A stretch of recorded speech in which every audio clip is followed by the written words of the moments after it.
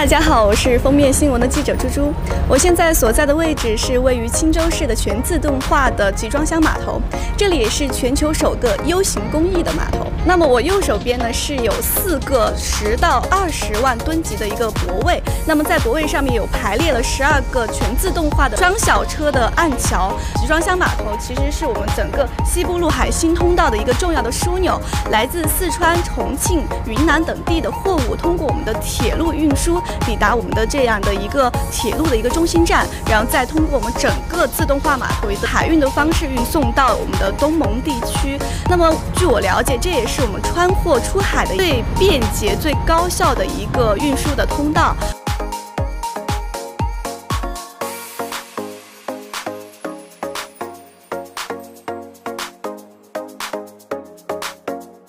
我们的项目分为两期建设，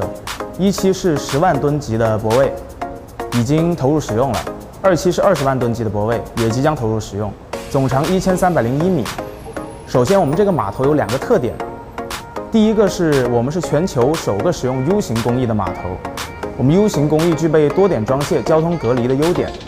第二个是铁路中心站就在我们码头的后方，